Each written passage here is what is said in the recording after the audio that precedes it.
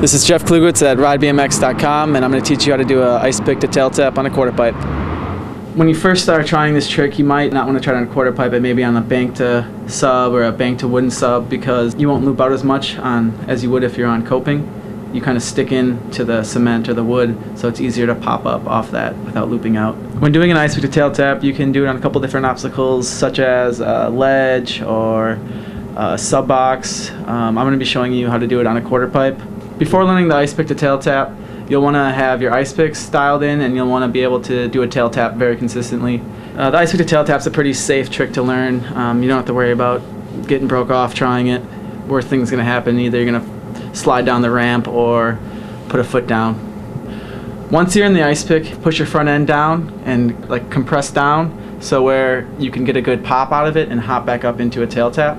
When you get into the ice pick, you'll want to push down with your pedals to counteract the back tire pushing against the side of the quarter pipe. This way, you'll be able to balance without having brakes.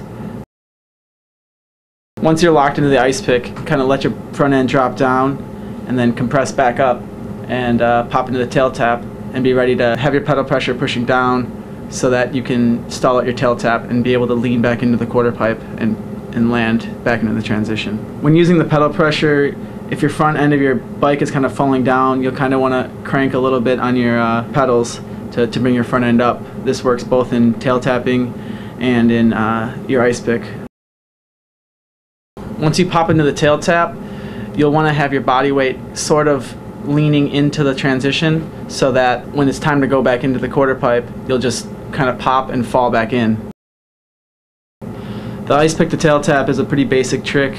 Um, once you master it, you'll be able to throw in uh, other variations such as ice pick tail tap fakie, ice pick tail tap bar spin, or whatever you come up with.